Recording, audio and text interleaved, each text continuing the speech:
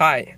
Hi, this is David Causer from Summer Work USA, and I just wanted to give a quick video about the housing situation we have arranged for the students coming to work in Panama City, Florida. Um, we've been working very hard to get a very cheap rate um, that's also a very nice place for you guys to stay, and I'm excited to show you our hotel rooms that we have that are available. Um, each room includes a microwave and refrigerator, and we're only going to put two people per room. Um, and there's also cooking kitchens at the end of the hallways that um, you can do your cooking in with stoves um, and cooking ovens. And we've able to get everything for $300 per month, which is an incredible deal here in Panama City. Um, most of these hotels you're going to pay $300 per night in the middle of the summer, but um, we are able to get you that rate for the whole month, and um, I hope that really helps uh, you make your decision about working here.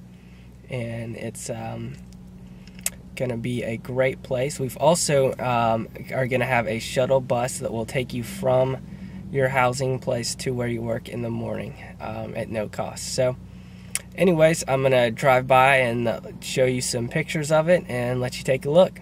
Let's go. Right, everybody, I'm in one of the housing rooms. They all have a nice little sink, bathroom, shower area. And there's two bedrooms, or two beds, um, with a small refrigerator and microwave, TV, and little cabinet for putting clothes, table. And this room actually looks out, um, showing the bay. Each room has a little porch or a little patio area. And it's a private pier. And uh, that is your own private pier for students that are staying here. Um, some of the other facilities, there's a big patio and a pool. Um, just beautiful place. You'll be able to see the ships coming in in the evening. Dolphins swimming in the morning. Dolphins swimming in the morning. Great place. Nice little desk there. There you go. And you can decorate how you want. Be a great little home for three months.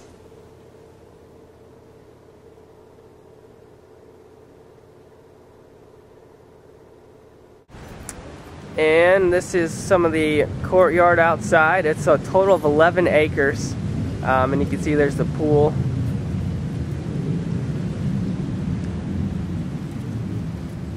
There's the pavilion, and it overlooks the bay where all the ships come in and dock at night. You can see here's some of the other hotel apartment buildings over there. It's really sunny.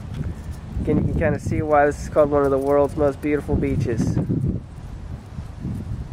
Alright, All right, everybody, this is inside one of the rooms. Um, we've got little refrigerators, microwaves. This is actually a room of someone who moved out today. Um, so you can make it up however you want. Nice little table, two beds, and we'll go all the way around. Sink bathroom shower right there. And I will show you the outside of the facilities in just a second. Um, they either have a little balcony or a little porch depending on what floor you're on. You can see this room kind of looks out by the um, bay the little pavilion. It's just beautiful beautiful place to stay